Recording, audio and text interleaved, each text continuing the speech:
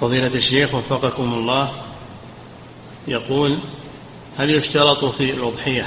ما هل يشترط في العقيقة؟ ما يشترط في الأضحية؟ بلا شك. لا بد أن يكون تكون العقيقة مثل الأضحيات سليمة من العيوب وسن أيضا تكون بالسن المشروع. حكم حكم الأضحية. نعم.